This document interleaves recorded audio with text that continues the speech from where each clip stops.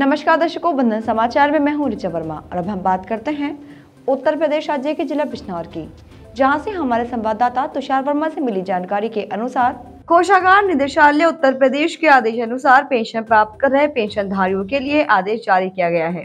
जिसको लेकर वरिष्ठ कोषाधिकारी सूरज कुमार द्वारा बताया गया कि कोषागार कार्यालय से पेंशन प्राप्त करने वाले सभी पेंशनधारियों के स्मार्ट फ़ोटो, आईडी कार्ड बनाए जा रहे हैं, जिनकी प्रक्रिया ऑफलाइन रूप से की जा रही है।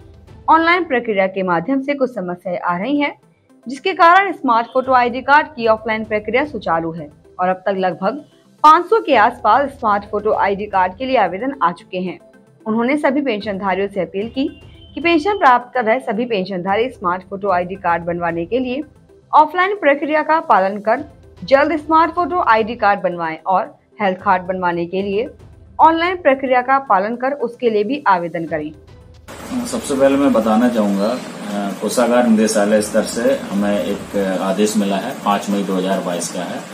उसमें स्पष्ट किया गया है कि कोषागार से पेंशन प्राप्त कर रहे सभी पेंशनरों को स्मार्ट आईडी कार्ड दिया जाएगा।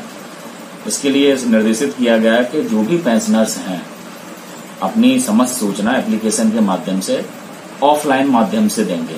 ऑनलाइन माध्यम से इसमें मना किया गया है कि उसमें कुछ दिक्कत आ सकती है, कोई परेशानी आ सकती है तो सारा फॉर्म एप्लीकेशन उनका ऑफलाइन भरा जाएगा और समस्त सूचनाएँ हार्ड कॉपी में कोषागार में जमा कराई जाएँगी। ये।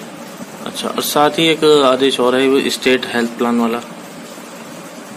Health card. हेल्थ हाँ उसके बारे में बता शासन के उसमें आदेश हैं कि सभी पेंशनर्स या जो भी हमारे राज्य कर्मचारी हैं उनको एक स्टेट हेल्थ कार्ड दिया जाएगा। उसके लिए सारी सूचनाएँ एप्लीकेशन जो है, वो ऑफलाइन ना होकर ऑनलाइन भरी जाएँगी। इसमें ऑफलाइन का कोई वो नहीं है। सारी सूचनाएँ एप्लीकेशन ऑनलाइन भरा जाएगा।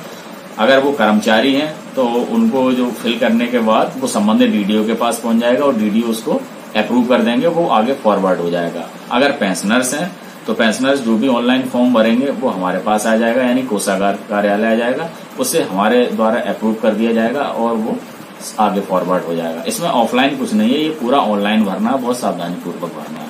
कोई गलत सूचना जो है ऑनलाइन अगर भरी जाती है तो फॉर्म में कोई भी रिजेक्शन की या और कोई टेक्निकल बात आ सकती है। अब तक कितने ऑफलाइन फॉर्म आ चुके हैं?